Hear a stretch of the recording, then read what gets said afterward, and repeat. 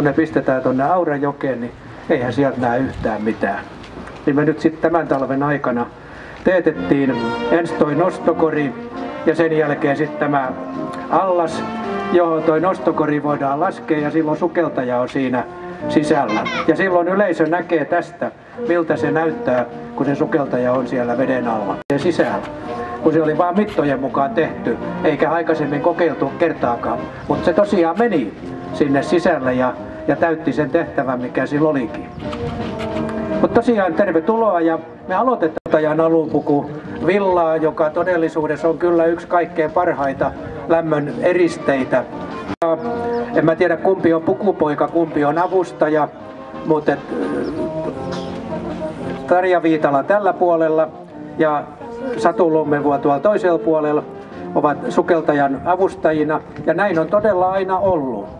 Raskas sukeltaja on todella vaatinut kaksi avustajaa, jotka on, on avustaneet häntä pukeutumisessa. Siinä mielessä sukeltaja on aika pomo ollut, että hänen ei paljon tarvitse tähän pukeutumiseen itse vaikuttaa. Et sen verran oikeastaan vaikuttaa, mikä tuommoinen pikku lapsi, lapsi vaikuttaa, kun hänellä pannaan vaatteita päälle. Kysymys on ollut hyvin pitkälti alkuvuosina siitä, että tämä avustaja ja pukupoika saivat tässä samalla oppia sukeltamisesta.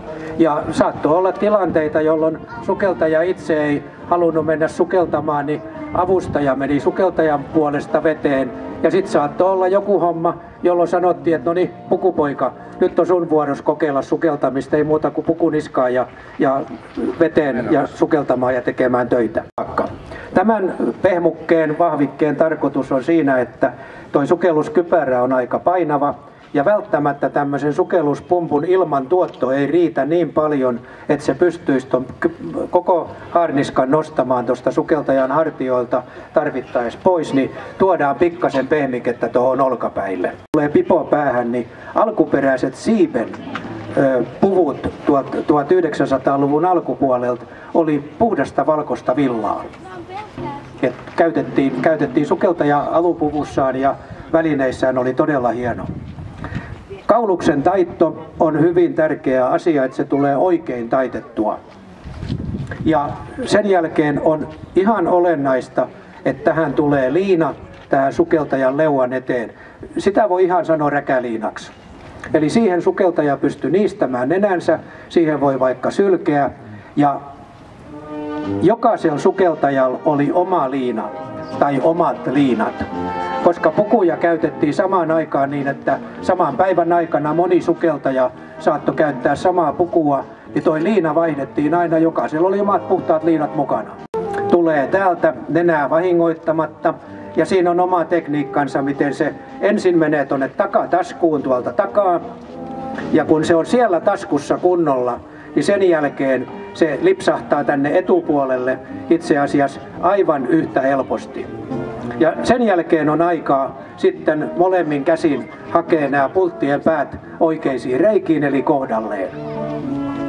Ja tästä valmistuu semmoinen tiiviys, jolla vesi sitten loppujen lopuksi ei tonne pukuun todellakaan pääse. Se pääsee kyllä tänne kauluksen sisään, mutta ei pääse pukuun saakka. Ja edetään edestä taakse, jolloin se menee näppärästi paikalle. Tytöt pistää nyt oikein, oikein jo tyylikkäästi tätä Tätä on tässä muutama kerta harjoiteltu, mutta kuitenkin todella, todella tyylikkäästi. Ja tässä on sukeltajan rooli. Hän ottaa tämän laatikon syliinsä. Se on ihan perinteen mukaan tehty, samoin kuin tämä jakkara. Ja sieltä otetaan nämä kiskot. Ne on tarkalleen määrätty, mihin paikkaan ne tulee. Frontti ja päkki. Ja kiskot pannaan paikalleen. Ja sen jälkeen, kun kiskot on paikallaan, niin sen jälkeen tulee näiden pulttien paikka mihinkään muuhun kuin omaan kohtaansa. Ja tasan kauniisti ja ennen kaikkea saumat menee kiinni. Siellä on melodia, joo aivan oikein.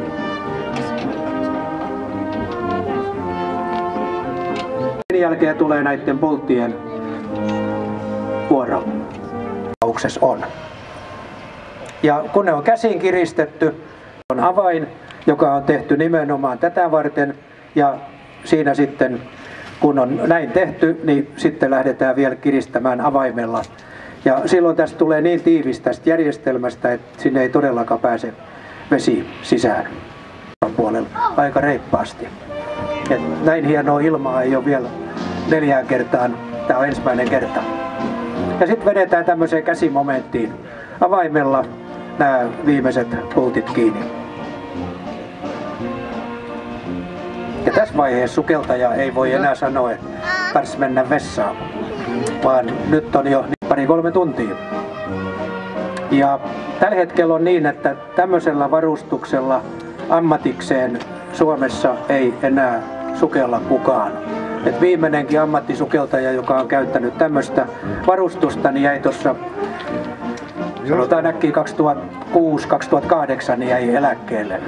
Puku on päällä niin kuin näkyy, niin löysää on, löysää on ja sitä varten on vyö, jolla vedetään tämä turhat löysät täältä pois ja vyöllä on myöskin puukko, joka on toi sukeltajan tärkeä työväline ja se tulee vyötä pantaessa paikalleen, niin se tulee tuonne vasemmalle puolelle niin, että se on siitä oikealla kädellä helposti otettavissa käyttöön. Kuitenkin siten, että se on siellä teillä kiertää se auki. Ja se on tämmöinen aika karkea työväline, että se ei ole mikään semmoinen, että partaveitti hippasta saunassa hipasut ei kelpaa. Harniska painaa joku parikymmentä kiloa. Sitten tulee 10 kiloa per kappale kenkä. Eli raskas sukeltaja työskentelee veden alla ollessaan pystyasennossa kävellen pitkin pohjaa. Ei siis sukella niin kuin sammakkomies. Pyörii. Sieltä kuuluu nämä pumpun antamat äänet. Tämä pumppu on yksi toiminen kolmesylinterinen pumppu, eli siellä on kolme sylinteriä, jotka pumppaa koko ajan ilmaa tuonne sukeltajalle, mutta mäntä toimii vain yhteen suuntaan, eli painuessaan alas mäntä puristaa ilmaa tuonne letkuun. Ja tuonne veteen, niin nähdään miltä se näyttää, kun hän siellä sukelluksissa on. Pekka Mattila tuolla takana nosturin kahvoissa vakaana ja, ja tullaan sieltä hiljaa altaalle ja rupeaa olemaan aika hyvin kohdallaan, niin sen jälkeen lähtee painumaan ja sukeltaja vie sen verran kyllä tuolta tilaa, tilaa tuolta vedestä, että veden pinta nousee tällä hetkellä niin aika lähelle tota korkeinta kohtaa. Tämä on ihan jännä, tämä on aikuiskoulutuskeskus oppilastyönä tämän astian tehnyt ja maalaus Kaulio sen hiekka puhalsi ja maalas nätisti ja lasi luoto laittoi meille siihen lasiin. Siinä on 30 milliä kolme kerrosta, karkastuu lasia päällekkäin niin että se kestää, tuolla on pari tonnia vettä tällä hetkellä tuolla asti ja se, se painaa jonkun verran. Mutta ihan jännä oli ensimmäinen vesikokemus, että se tosiaan ei vuoda mistään. Ja sinne lähtee hiljaa painumaan.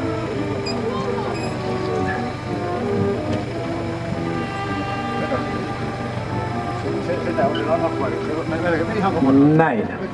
Ja nyt meillä on sukeltaja veden alla kaikki hyvin. Pomppu pyörii siellä ja syöttää koko ajan ilmaa.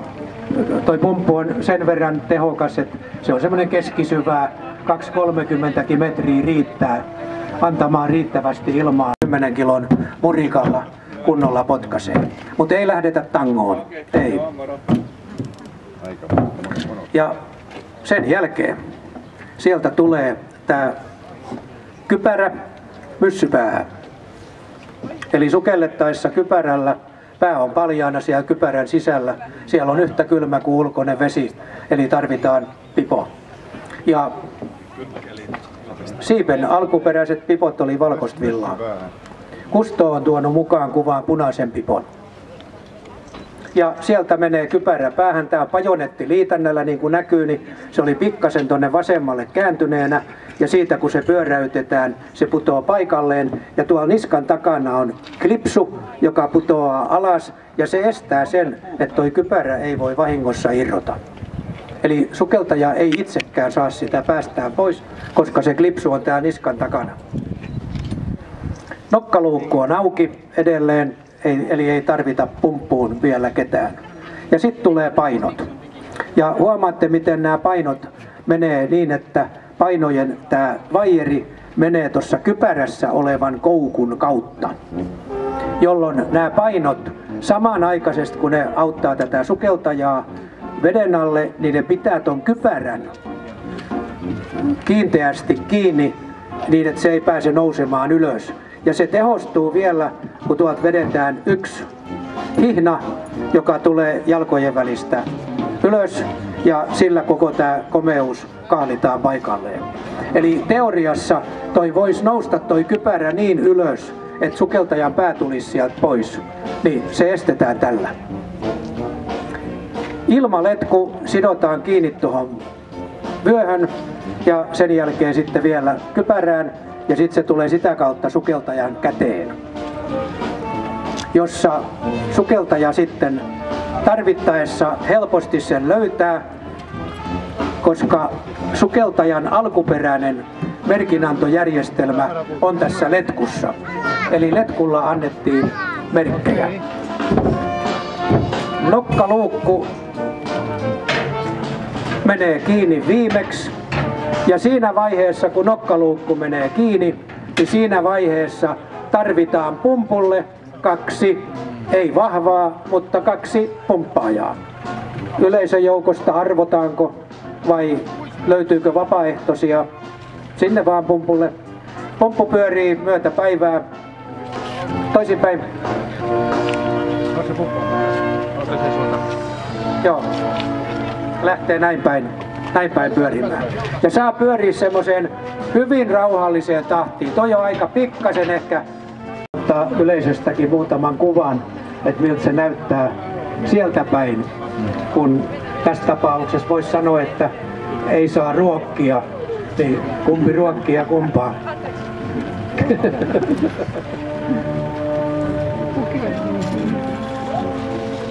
Ja tässä oli semmoinen jännä, jännä, mitä me ei aikaisemmin ole tiedettykään. Että tässä on tämmöisiä, tässä on niin kuin näette tuossa nokkaluukussakin on pikku vuoto. Sieltä tulee nätti tasainen kuplavana koko ajan ylös. Niin tämmöisiä me ei olla tiedettykään ennen, ennen kuin nyt vasta ensimmäisen kerran lasketaan sukeltaja tämmöiseen akvaarioon. Että me, niin nyt vuotaa niin paljon tästä kaulatiivisteestä, että tätä ei voi tehdä. Me koitettiin aamupäivällä ja silloin tämä ei, ei onnistunut. Mutta tämän näköiseltä kypäräpääsukeltaja näyttää tosiaan veden alla. Ja sen jälkeen sitten voi liikkua pitkiäkin matkoja. Se tietysti riippuu letkun pituudesta ja pystytäänkö sukeltajaa tuomaan sitten sukelluskohteelle mahdollisimman pitkälle. Ja lähtee nousemaan ylös sieltä rauhallisesti pikkuhiljaa.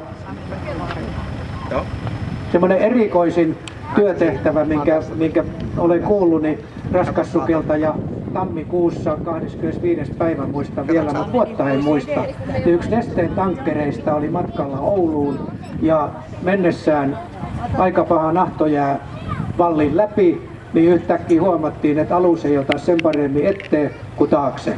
Ja kun lähdettiin tutkimaan asiaa, niin aluksesta oli koko kameva-järjestelmä pudonnut pois. Ja sukeltaja pantiin etsimään, soitettiin saunan lauteilta kymmenen aikaa illalle, että tarvitsisi sukeltaja tulla. Sukeltaja pantiin jään alle sukeltamaan letku perään ja hän käveli pitkin pohjaa, kunnes hän törmäsi melkoiseen kraateriin siellä pohjassa. Ja kun sieltä sitten koettimella koetettiin, niin sieltä antoi koetin semmoisen äänen, joka ei tullut kivestä, vaan metallista. Ja se koko potkurijärjestelmä oli siellä nostettiin pois ja kiinnitettiin takaisin paikalleen ilman, että tankkeri otettiin vedestä pois. Erikoista siinä mielessä, että lehdistössä siitä ei puhuttu mitään. Tää voi olla aika kuuma. Ja sieltä tosiaan sukeltajamme tuli ylös, nokkaluukku pois ja sen jälkeen kun nokkaluukku on irti, niin sen jälkeen pumppu voi pysähtyä ja sukeltaja on valmis tulemaan pois. Ja tässä vaiheessa, jos puhuttaisiin ammattisukeltajasta, niin voi olla, että ammattisukeltaja tulisi hetkeksi istumaan tuohon, söisi jotain, joisi jotain, vetäisi sauhut ja sen jälkeen olisi hetken kuluttua valmis menemään takaisin alas. Mutta Annetaan tyttöjen rauhassa riisua pikkuhiljaa sukeltajalta varustetta pois ja samaan aikaan valmistaudutaan toiseen sukeltamiseen, eli sieltä tulee Antti Wikman paikalle ja Arimo pikkasen auttaa. Eli sieltä tulee meille käyttöön puukypärä.